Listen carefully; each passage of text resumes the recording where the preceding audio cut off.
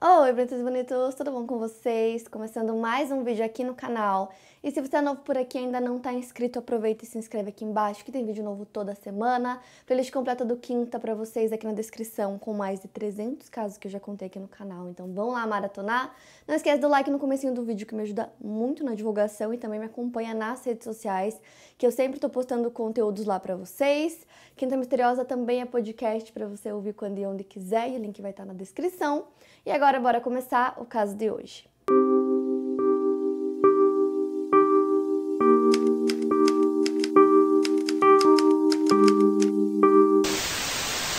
Carrie Farber morava na cidade de Macedônia, no Iowa, Estados Unidos, e ela era descrita como uma pessoa cheia de vida, calorosa, capaz de iluminar qualquer lugar onde ela entrasse.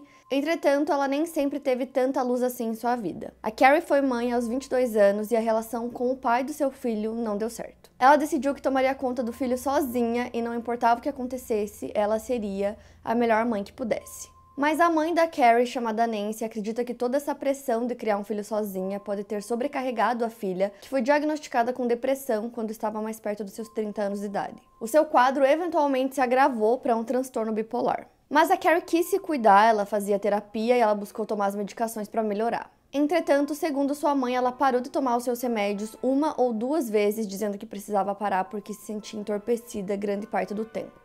Ela buscou ajuda em 2012 e aos 37 anos ela estava bem melhor graças à medicação. Nessa idade ela tinha um emprego estável, trabalhando como programadora de computadores e criando seu filho sozinha. Seu trabalho era em Omaha, no estado de Nebraska, que ficava a cerca de uma hora de viagem da sua casa. O seu filho Maxwell James, apelidado de Max, tinha 14 anos de idade e estava no ensino médio. A Carrie era a maior apoiadora do filho, ela estava animada com os estudos dele, com os esportes que ele estava praticando na escola. Então ela estava muito feliz e vivendo super bem. Ainda em 2012, ela foi levar o carro dela para uma oficina e lá ela conheceu um funcionário do local chamado Dave Kropa, um mecânico de 35 anos. O Dave tinha se mudado naquele mesmo ano para Omaha depois de conseguir o trabalho na oficina. Ele tinha se separado recentemente de uma namorada de longa data chamada Amy Flora, com quem teve dois filhos. O relacionamento dos dois tinha durado 12 anos. Pela primeira vez em muito tempo, David estava sozinho, então, cerca de seis meses antes de conhecer a Carrie, ele procurou se aventurar em aplicativos de encontros online. Ele se inscreveu em alguns sites de encontros e a primeira pessoa que ele encontrou através desses sites foi uma mulher chamada Shanna Elizabeth Gollier,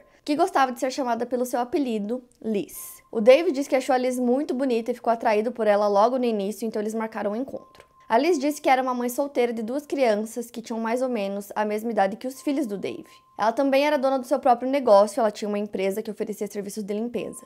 O primeiro encontro deles foi em uma cafeteria, eles se divertiram e riram juntos, se dando bem logo de cara. A partir do quarto encontro, eles começaram a ter relações, mas segundo Dave, ele sempre deixou muito claro que ele gostaria de continuar se relacionando com outras mulheres além da Liz, e aparentemente ela concordou em manter a relação casual e não teve problemas com isso. Então, além dela, o Dave deixou bem claro também para as outras mulheres que ele conheceu através desses sites de relacionamentos que ele não estava procurando nada sério, que ele tinha se separado, né, depois de um casamento longo e que ele não queria é, entrar em outro relacionamento no momento. Então, ele conheceu várias outras mulheres, teve vários encontros então, seis meses depois de conhecer a Liz, foi quando ele conheceu a Carrie, né? Quando ela foi até a mecânica para levar o carro dela, e ele achou ela extremamente atraente. Ele relata que desde o momento que ele conheceu a Carrie, ele sentiu uma faísca entre os dois, que ela foi mostrar algumas coisas no carro e ele meio que sentiu uma tensão entre eles.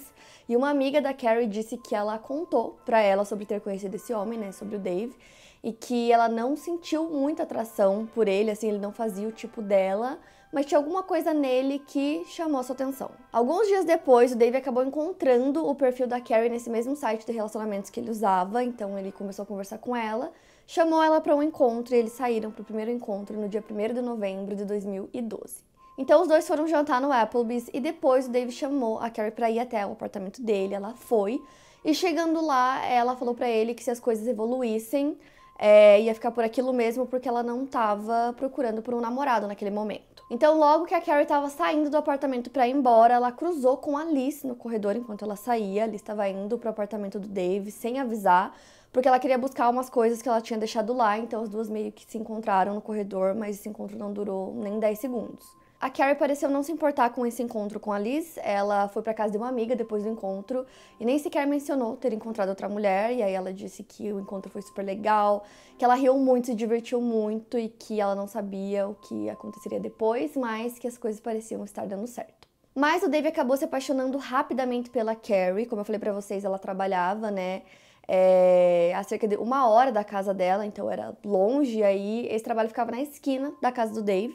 Então ela tinha um grande projeto no trabalho e aí ele ofereceu que ela ficasse na casa dele para que fosse mais perto, para ela poder se preparar e tudo mais. E essa oferta pareceu facilitar muito a vida da Carrie, já que ela estava trabalhando muito, então ela ficava até mais tarde no trabalho, era longe de casa, e assim ela conseguia se preparar melhor, podia ficar um pouco mais tranquila. Então ela aceita ficar na casa dele, né, nesse período que ela tinha esse projeto no trabalho, e ela pediu para a mãe dela ficar na casa dela cuidando do filho dela, já que ela teria que ficar lá por uns dias. Então, na manhã do dia 13 de novembro, a Carrie ainda estava ficando na casa do Dave, então às seis e meia da manhã. Ele sai pro trabalho, se despede dela, dá um beijo nela e sai, aí ela fica na casa. E nesse horário ela já estava trabalhando, então ela já estava com o computador dela. E os dois tinham combinado que eles se encontrariam mais tarde naquele dia. Então o Dave foi pro trabalho e um tempo depois ele recebe uma mensagem de texto da Carrie que ele considerou muito estranha. Nessa mensagem, ela dizia que queria morar junto com ele, que estava preparada para morar com ele, e ele achou muito estranho porque eles já tinham conversado sobre isso. É, não era uma coisa que eles queriam naquele momento, aí do nada ela disse que queria mudar para casa dele. Ele respondeu que ele não estava interessado. A resposta que ele recebeu da Carrie foi dizendo: Tudo bem, eu tenho outro namorado mesmo, eu te odeio, eu não quero te ver nunca mais. E nessa mensagem tinham muitos palavrões. E ele achou tudo muito esquisito. Ainda naquela manhã, a mãe da Carrie também começa a receber umas mensagens da filha, que também ela achou que estavam super estranhas.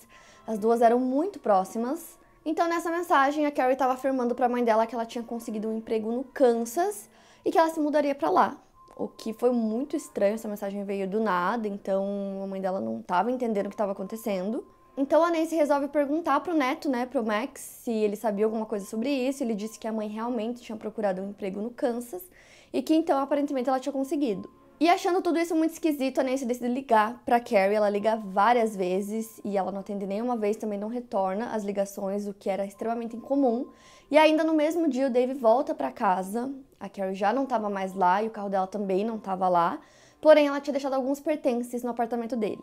Dois dias se passam e ele volta a receber mensagens dela, e nessas mensagens ele disse que ela estava sendo extremamente agressiva, dizendo que ele tinha arruinado a vida dela. Já a mãe da Carrie estava ficando extremamente preocupada porque as duas conversavam sempre, muito pelo telefone. Ela continuou conversando por mensagem, mas a filha nunca atendia os telefonemas. E ela achava muito estranho que ela não atendesse, só que o casamento do meio-irmão da Carrie estava chegando, ia ser no dia 16 de novembro. Então a mãe deles pensou que nesse dia ela veria a filha. A Carrie tinha combinado que ela buscaria o Max em casa para eles irem até o casamento, só que ela não apareceu para buscar ele, então ela perdeu a cerimônia e a partir disso a mãe dela começou a ficar extremamente preocupada que tinha alguma coisa errada. Então ela decidiu ir até a polícia e relatar o desaparecimento da filha e ela explica que a Carrie tinha sido diagnosticada com um transtorno bipolar e que ela estava tomando um medicamento. As autoridades entram em contato com a Carrie, né, para ver se estava tudo bem, e aí ela responde é, dizendo para eles deixarem ela em paz, e eles entenderam o recado. Então, assim, para a polícia, como eles sabiam que ela era bipolar, eles acreditavam que essa mudança de comportamento se deu porque ela tinha parado de tomar os medicamentos, e aí eles não levaram é, a busca por ela a sério e ficou por isso mesmo. Depois disso, Dave continuou recebendo mensagens do número da Carrie, e além das mensagens, ele começou a receber e-mails também e aí, nesses e-mails, ela dizia que ia fazer de tudo para que ele sofresse muito, e aí às vezes ela dizia que ela tinha certeza que eles pertenciam um ao outro. Já outras mensagens eram bem agressivas e até ameaçadoras. Então, o David disse que também grande parte dessas mensagens eram sobre a Liz. É, quando ele teve o primeiro encontro com a Carrie, ele chegou a mencionar que estava vendo outra pessoa, que no caso era a Liz, e ela pareceu não se importar, só que aí nessas mensagens ela citava muito a Liz e parecia que ela tinha muitos ciúmes. E aí o Dave decide conversar com ela sobre isso, e aí ela conta que ela também estava recebendo mensagens e e-mails da Carrie. E aí ela disse que achava toda essa situação muito estranha, porque elas tinham se conhecido rapidamente, né, por tipo 10 segundos, e ela estava se perguntando como essa mulher conseguiu o número e o e-mail dela. Dez dias depois, a Liz chega em casa do trabalho e percebe que a garagem dela tinha sido vandalizada tinham alguns xingamentos feitos com tinta spray e ela decide contar, né, ligar para a polícia e contar que isso tinha acontecido. Só que como o Dave era a pessoa que ligava as duas, né, a Carrie, a Liz, e também ele tinha sido a última pessoa a ver a Carrie, ele se tornou uma pessoa de interesse para a polícia. Só que ao conversar com ele, é, ele contou que estava recebendo todos esses e-mails, essas mensagens ameaçadoras, e a polícia entendeu meio que estava acontecendo, que eles já tinham visto aquilo em outros casos antes. Já a Carrie continuava se comunicando com a família dela e conversando sempre com a mãe, e toda vez que a Nancy, né, a mãe dela, pedia para elas conversarem por telefone, porque ela queria ouvir a voz da filha, a Carrie respondia que só as mensagens já eram suficientes. A Nancy, a essa altura, estava extremamente preocupada com toda a situação, e aí a Carol começou a falar nas mensagens que ela estava planejando levar o Max para morar com ela no Kansas. Isso deixou ela mais preocupada ainda, porque ela não sabia realmente como estava a saúde da filha, ela não via a filha há muito tempo. E nada daquilo parecia fazer sentido para a mãe da Carrie, então o tempo foi passando e ela começou a perder várias datas importantes, como o aniversário de 15 anos do filho dela, o funeral do próprio pai, e feriados também, como ação de graças, e até o próprio aniversário, que são datas que ela com certeza estaria com a família. A Nancy relata também que logo depois de perder o marido, ela teve um sonho com ele, que ela disse que o sonho foi extremamente real, e que nesse sonho o marido falava para ela não se preocupar porque a Carrie estava com ele. Mas mesmo assim, ela tinha esperanças de que a filha aparecesse ou que ela encontrasse a filha dela com vida.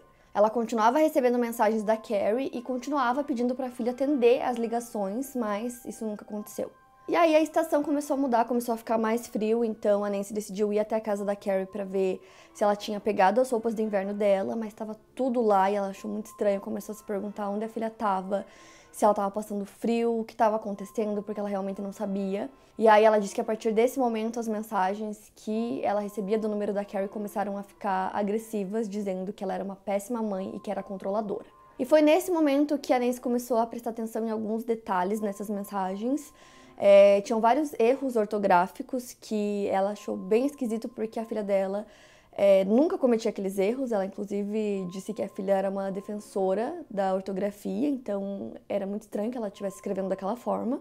Já para o Dave as coisas estavam ainda piores porque ele começou a perceber que ele estava sendo perseguido, então ele recebia cerca de 60 mensagens por dia e até 100 e-mails por dia com mensagens ameaçadoras. Ele também recebia muitas ligações, então ele mudou de número várias vezes, mas não adiantava. Ele até conta que teve uma noite que ele estava em casa, é, sentado na poltrona dele com os pés para cima, vendo TV, e que ele recebeu uma mensagem dizendo que é, ele estava sendo observado e que na mensagem dizia exatamente como ele estava, a cor da camiseta dele, e dizia que uma das coisas favoritas da Carrie, no caso, que era o número que estava mandando, era ficar à noite do lado de fora observando ele. Quase dois meses depois que os assédios começaram, em uma noite de janeiro de 2013, o Dave estava voltando para casa depois do trabalho quando ele notou um veículo familiar em um estacionamento próximo. Quando ele se aproximou, ele percebeu que era o Ford Explorer da Carrie, o carro dela, e como ele já tinha consertado esse carro para ela, ele conseguiu reconhecê-lo com facilidade. Ele tirou uma foto da placa e enviou para a polícia. A Carrie estava sendo procurada por dois departamentos de polícia diferentes. Um deles procurava ela como uma pessoa desaparecida, enquanto o outro como uma stalker, né, uma perseguidora. Quando a polícia localizou o veículo e conseguiu fazer uma busca no interior, eles procuraram por impressões digitais. Não encontraram nada exceto uma embalagem de balas de menta, onde encontraram uma única impressão digital perfeitamente preservada, mas essa impressão não pertencia a Carrie e a nenhuma outra pessoa na base de dados do FBI. As semanas foram passando e a Nancy permanecia sem saber aonde a filha estava. Ela retomou a esperança cinco meses depois, quando um homem ligou dizendo que teria visto a Carrie no Siena Francis House, um abrigo para pessoas sem teto em Omaha, no Nebraska. O homem em questão disse que até conversou com a Carrie e que ela queria que sua mãe fosse buscá-la. A mãe dela vai até o abrigo animada para encontrar a filha e trazê-la de volta. Ela pediu para que os investigadores a encontrassem no local, mas quando eles chegaram, descobriram que a Carrie nunca esteve lá. Uma amiga da Carrie chamada Amber também recebeu uma mensagem dela dizendo que ela finalmente quer voltar para casa. A Amber demonstrou apoio para a amiga, mas nunca conseguiu marcar um encontro com ela. Seis meses depois do desaparecimento, o Max decidiu mandar uma mensagem no Facebook da sua mãe para ver o que aconteceria. Ela respondeu. O Max então mandou outra mensagem pedindo que a mãe respondesse três perguntas, provando que realmente era ela. A primeira pergunta era: qual o seu nome do meio? A segunda: qual foi o nome do nosso primeiro cachorro boxer? E a terceira: quem era meu melhor amigo quando criança? Mas essa mensagem nunca foi respondida. Em maio de 2013, o perfil do Facebook da Carrie estava bastante ativo. Ela fazia postagens cheias de erros gramaticais, dizendo que já tinha respondido perguntas o suficiente para provar a si mesma e que ela estava cansada. Outro post dizia que as pessoas podiam não acreditar que ela era a filha, a mãe, a irmã e a amiga que seus familiares conheceram a vida toda, ou poderiam simplesmente deixá-la em paz. Na mesma postagem, ela disse que sumiu por vontade própria e que estava cansada de todos a incomodando, dizendo o que ela precisava fazer. Carrie ainda afirmou que não estava desaparecida, que ela simplesmente não queria voltar para casa. E por ela ser uma mulher adulta, ela tinha esse direito. Ela inclusive disse que convidou o filho para ir com ela e que ele não quis. Enquanto isso, tanto Dave quanto Alice continuavam recebendo muitas mensagens ameaçadoras é, já faziam seis meses, né? E aí eles acabaram conseguindo encontrar apoio um no outro no meio disso. E aí eles voltam a se relacionar, e o David disse que era comum que os dois estivessem juntos, fazendo alguma coisa, como por exemplo vendo TV, e aí começassem a receber várias mensagens, tanto no celular dele quanto no da Liz. Então as mensagens e os e-mails, né, continham muitas ameaças, e o David disse que um desses e-mails dizia que a Carrie iria matar a Liz.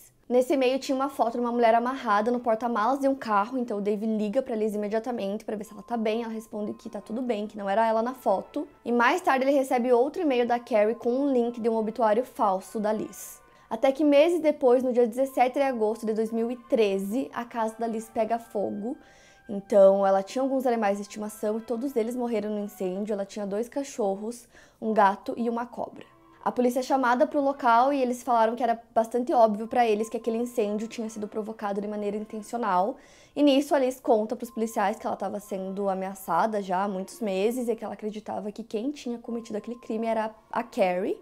É, ela disse que ela recebia mensagens, e-mails da Carrie ameaçando tanto ela quanto seus filhos. Depois que isso aconteceu, o Dave começou a ficar bastante paranoico com a situação. Ele decidiu comprar uma arma para se proteger. E aí, várias outras coisas estranhas continuaram acontecendo. O local de trabalho dele foi invadido e vandalizado. É, picharam com spray numa parede Dave bate em mulheres. No dia 1 de novembro de 2013, exatamente um ano depois do primeiro encontro do Dave da Carrie, ele recebe um e-mail onde ela chama ele de meu marido e ela manda uma foto de uma faca dizendo que ela tá andando em volta do prédio dele. O Dave ainda estava se relacionando com a Liz, mas não de forma exclusiva, então ele continuava acessando aqueles sites de relacionamentos, é, conversando com outras mulheres, saindo com outras mulheres, e todas elas viravam alvo da Carrie. Em janeiro de 2014, uma amiga do David chamada Heather estava ficando na casa dele e ela disse que em algum momento assim é, eles estavam conversando e ele começou a receber muitas mensagens no celular, uma depois da outra, e que também teve um momento que ela ouviu alguém mexendo na maçaneta da porta e horas depois, quando eles já estavam dormindo, alguém jogou um tijolo pela janela do banheiro. Eles decidem chamar a polícia, que vai até lá, conversam com o Dave e aí ele pede para Heather entrar com ele no carro para eles irem até a casa da Liz para checar se ela estava bem, porque ele disse que já fazia muito tempo que ela estava sendo ameaçada assim como ele. E aí o tempo foi passando, é, o Dave e a Liz tinham um bom relacionamento, eles é, continuavam se vendo, se relacionando e também eles até foram em um encontro duplo com uma amiga da Liz. É, e essa amiga disse que os dois pareciam super bem juntos, que eles faziam muito bem um pro outro e que ela sabia que a amiga queria algo mais sério, mas que ela não ia ficar pressionando o Dave para isso. Mas as mensagens continuavam, até a Amy, que era a esposa do Dave, né, mãe dos filhos dele, recebeu mensagens ameaçadoras também, então parecia que qualquer pessoa que estivesse na vida do Dave acabava virando alvo. E aí o Dave muda o número do telefone mais uma vez e dessa vez as mensagens pararam um pouco. Em 2015 ele se muda para Council Bluffs em Iowa e aí ele para de passar tanto tempo com a Liz. Council Bluffs é uma cidade pequena, cheia de pessoas trabalhadoras e que costumam se ajudar, é considerada uma comunidade rural. Dois anos e meio depois do desaparecimento da Carrie, na primavera de 2015, as ameaças e assédios ainda aconteciam com as pessoas próximas ao Dave. Os detetives Ryan Navis e Jim Doty, que trabalhavam no escritório do xerife em Calcium Bluffs, Iowa, não tinham trabalhado no caso, mas ouviram sobre e ficaram intrigados sobre o misterioso desaparecimento da Carrie. Por isso, eles se voluntariaram para assumir a investigação e decidiram olhar para o caso de diferentes ângulos. O Jim iria trabalhar no caso supondo que a Carrie estava morta e o Ryan trabalharia no caso supondo que ela estava viva. Dessa forma, eles acreditavam que um deles conseguiria descobrir o que realmente aconteceu. Os investigadores começaram pegando os arquivos iniciais do caso, eles tinham conhecimento de que ela sofria de transtorno bipolar, mas ambos acreditavam que isso não estava relacionado ao seu desaparecimento. Algo que o detetive Ryan observou e levantou uma bandeira vermelha foi o fato de que as suas contas bancárias não tinham tido qualquer atividade desde o desaparecimento. Ele explicou que adultos não somem dessa maneira sem gastar qualquer dinheiro. Ninguém viu a Carrie, ninguém ouviu sua voz e aquilo não fazia sentido. A Carrie tinha um bom salário, morava em uma boa casa e Ryan chegou à conclusão de que não teria como provar que ela estava viva. Então eles perceberam que ela poderia estar morta durante todo esse tempo, desde o momento em que deixou o apartamento do Dave na manhã do dia 13 de novembro de 2012, e por conta disso eles resolveram reabrir o caso. Para o detetive Dinho, o que chamou a atenção foi o fato de que a Liz nunca esteve envolvida na vida da Carrie até o desaparecimento. Para ele era algo suspeito que do nada ela se tornasse um grande foco do assédio. Para ele, a Liz era definitivamente uma pessoa de interesse. O ponto da investigação naquele momento era descobrir quem estava mandando aquelas mensagens, já que eles tinham concluído que a Carrie provavelmente não estava viva. E como toda a comunicação que a Carrie teve com qualquer pessoa depois do desaparecimento foi completamente online, os investigadores pediram ajuda a um colega chamado Tony Cava, um administrador forense digital, que também trabalhava no escritório do xerife. Anos antes, em 2013, tanto Dave quanto a Liz haviam concordado em baixar o conteúdo dos seus telefones para o grupo inicial de investigadores. Todo esse conteúdo estava nos arquivos originais do caso e permitiu que os investigadores conseguissem conectar alguns pontos. O propósito inicial era ver se eles conseguiam descobrir de onde as mensagens da Carrie estavam sendo enviadas. O Anthony diz que eles sabiam que as mensagens não pareciam ter sido enviadas pela Carrie. Durante aqueles três anos, a Carrie ou alguém se passando por ela tinha enviado cerca de 15 mil e-mails no total. Deveriam existir entre 25 a 50 mil mensagens de texto enviadas. Ele ainda diz que quem quer que estivesse se passando pela Carrie aperfeiçoou cada vez mais a forma de esconder o endereço IP, tentando esconder sua identidade real. Os investigadores conseguiram encontrar no celular da Liz uma foto do Ford Explorer da Carrie e os dados da imagem mostravam que a foto tinha sido tirada cerca de um mês antes da polícia ter recuperado o veículo. O detetive Jim diz que parecia que Alice sabia onde o carro da Carrie estava antes mesmo da polícia. Outra coisa que a polícia descobriu foram seis ligações feitas para a residência da Carrie. A pessoa que ligou usou o prefixo 67 para disfarçar o número, então eles chegaram à conclusão que Alice ligou para Carrie seis vezes. Para a polícia, aquilo não fazia o menor sentido, já que a própria Liz tinha dito que conheceu a Carrie apenas naquele momento em que passou por ela no corredor. Os investigadores também encontraram a foto que havia sido enviada para o Dave de uma mulher amarrada e descobriram que a foto foi tirada pelo celular da Liz. Eles perceberam que a Liz havia se amarrado, colocado fita adesiva em sua boca, se colocado no porta-malas do carro e de alguma forma tirado aquelas fotos de si mesma. Outra coisa encontrada nesses arquivos foi um vídeo filmando alguém andando do lado de fora do apartamento do Dave. O vídeo foi postado no YouTube sob o nome de Carrie, mas o endereço IP estava registrado na casa da Liz. Em maio de 2015, os investigadores foram até a casa da mãe da Carrie para entrevistá-la. Eles disseram que acreditavam em suas alegações de que sua filha havia desaparecido e que algo tinha acontecido com ela. Durante a conversa, Nancy deu outra pista para os investigadores. Ela relatou que logo que a filha desapareceu em 2012, ela recebeu uma mensagem de texto dizendo que a Carrie havia vendido toda a sua mobília e pedindo para que a Nancy deixasse que o comprador entrasse na casa para pegar tudo. Para aprovar a venda, a Carrie teria enviado uma foto de um cheque para o pagamento da mobília que estava assinado por Shanna Gollier. Os investigadores sabiam que o nome da Liz era Shanna e perceberam que aquilo era mais um detalhe que fazia uma conexão entre as duas. Mesmo que esses fatos não tenham dado respostas aos investigadores sobre o que aconteceu com a Carrie, deu a certeza de que a Liz sabia mais do que ela estava contando. Além disso, lembra que eu falei para vocês que eles encontraram dentro do carro da Carrie um papel de bala que tinha uma impressão digital perfeitamente preservada? Eles fizeram testes e descobriram que pertencia a Liz. Enquanto a investigação corria, o Dave percebeu que a arma que ele tinha comprado sumiu do nada, então ele relatou isso para a polícia. No dia 4 de dezembro de 2015, os dois investigadores que estavam cuidando do caso estavam trabalhando no escritório do xerife até que a Liz apareceu no local. Eles ficaram bem surpresos com a presença dela e ela disse que foi até lá para prestar uma queixa de assédio contra a ex-esposa do Dave, Amy. Depois que ela foi embora, um dos detetives decidiu ir até a casa dela para fingir que ia conversar com ela sobre a queixa, para ver se ele conseguia alguma informação a mais. E aí ela começou a dizer que ela acreditava que na verdade quem estava ameaçando ela durante todo esse tempo era a Amy e não a Carrie.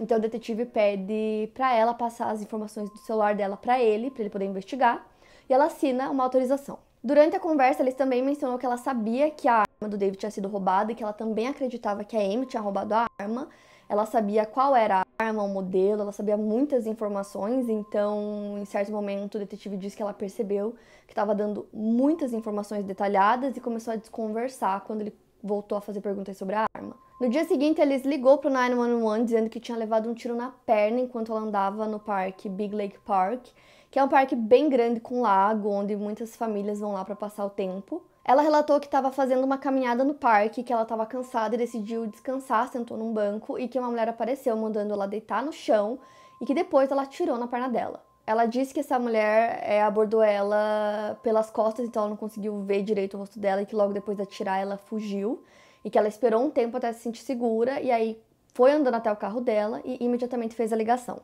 Em um primeiro momento, ela disse que não sabia quem poderia ter atirado nela, mas depois ela começou a dizer que ela achava que tinha sido a Amy.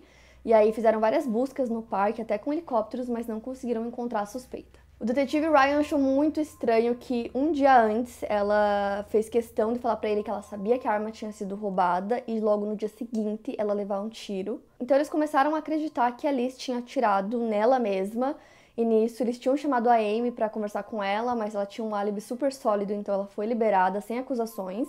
Enquanto isso, o outro investigador estava trabalhando naquele material que eles pegaram do celular da Liz, e nisso ele descobriu que ela tinha registrado cerca de 20 a 30 e-mails diferentes, todos com variações do nome da Carrie. Ele também descobriu que ela usava um aplicativo onde você conseguia agendar mensagens, e isso explicaria todas as vezes que ela estava com o Dave, e os dois começavam a receber mensagens da Carrie. Então, durante a investigação, com as informações que eles tinham, os investigadores concluíram que a Liz usava de 40 a 50 horas por semana, personificando a Carrie pelos últimos três anos. Duas semanas depois de levar o tiro, no dia 10 de dezembro, Alice foi levada para uma entrevista pelos investigadores. Naquele momento, ela insistia com os investigadores que eles deveriam investigar a Amy. Nesse ponto, Alice não fazia ideia de que ela era a principal suspeita no caso. Nisso, um dos detetives disse que eles fizeram uma grande descoberta no caso, que eles encontraram restos mortais que acreditavam ser da Carrie. E aí eles perguntam para Alice se ela conhecia alguém que poderia querer machucar a Carrie. Ela disse que ela não conhecia a Carrie o suficiente para saber se tinha alguém querendo fazer isso, mas aí, conforme a entrevista foi passando, ela voltou a falar sobre a Amy, dizendo que acreditava que era ela, meio que tentando tirar a atenção de si mesma. O detetive Jim fez com que a Liz pensasse que ele estava acreditando nela e que quem estava fazendo tudo aquilo era realmente a Amy, e pediu que ela ajudasse ele a provar que era ela que estava por trás de tudo isso. Ele pediu para que, caso Alice recebesse qualquer mensagem da Amy a partir daquele momento, que ela fosse direto mostrar para ele. Eles basicamente disseram que queriam a ajuda dela para fazer com que a Amy confessasse o crime. Então eles pediram para que se ela recebesse qualquer nova mensagem da Amy a partir daquele momento, era para mostrar direto para eles. Eles sabiam que ela ia fazer isso porque ela queria colocar a culpa em outra pessoa e ela queria a Amy presa. Então eles acreditavam que assim ela iria incriminar a si mesma, dando vários detalhes sobre o crime e até mesmo talvez falando aonde o corpo estava. E os investigadores sabiam que a Amy não tinha nada a ver com isso, era só uma tática. E aí, poucos dias depois, eles começam a receber umas mensagens é, que a Liz encaminhava para eles.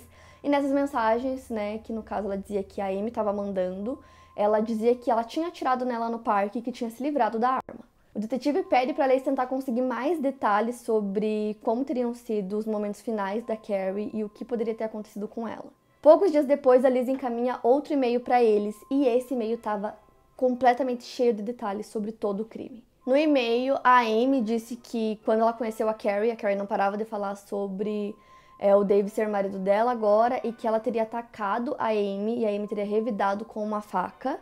Ela teria esfaqueado a Carrie de três a quatro vezes, depois teria queimado o corpo e jogado em sacos de lixo. O detetive disse que a quantidade de detalhes do e-mail era horrível e era tudo extremamente gráfico. A polícia sabia que um dos grandes medos da Liz era que o Dave e a Amy voltassem, então eles decidiram fingir que eles tinham voltado, que eles inclusive estavam morando juntos. E pouco tempo depois eles recebem uma ligação da Liz dizendo que estava muito chateada pelo fato da Amy ainda não ter sido presa. Eles respondem que eles estão construindo o caso, mas que eles precisavam de mais informações que apenas o culpado saberia. Pouco tempo depois, mais e-mails aparecem onde a Amy estaria confessando o crime, dizendo que assassinou a Carrie dentro do próprio carro dela. E como nesse e-mail né, apontava que o veículo era a cena do crime, os investigadores foram novamente investigar o carro da Carrie, dessa vez de uma forma mais minuciosa. Quando eles retiraram o tecido do banco do passageiro, tinha uma mancha vermelha que eles determinaram que era sangue da Carrie. Então, tendo essa prova, a partir desse momento não era mais um caso de pessoa desaparecida, e sim um caso de homicídio. O Departamento de Polícia de Omaha precisou se envolver na investigação, já que a maior parte do caso aconteceu em Omaha.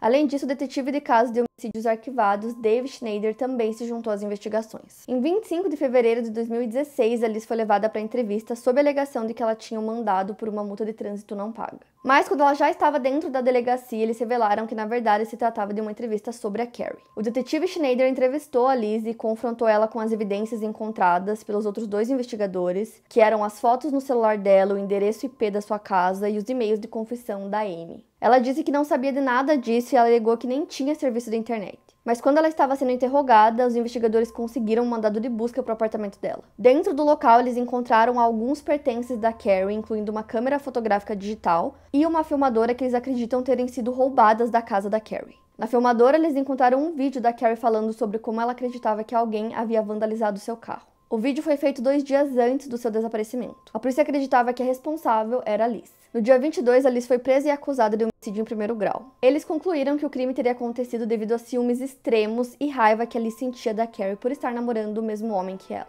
Por não terem encontrado o corpo, a polícia deduziu que Alice poderia ter queimado os restos junto com a casa dela naquele incêndio. A procuradora que trabalhou no caso, advogada do condado de Douglas, Brenda Beadle, disse que esse foi de longe o caso mais difícil que ela levou a julgamento. Ela disse que não tem como alguém deixar o seu cachorro morrer em um incêndio que a própria pessoa iniciou e também não havia como alguém atirar no próprio fêmur, querendo dizer que eram coisas difíceis de se acreditar que a Liz realmente tinha feito. O advogado de defesa da Liz, James Martin Davis, solicitou a renúncia ao julgamento com júri em favor de um julgamento com bancada, ou seja, um julgamento em que um juiz decidiria o resultado sem um júri.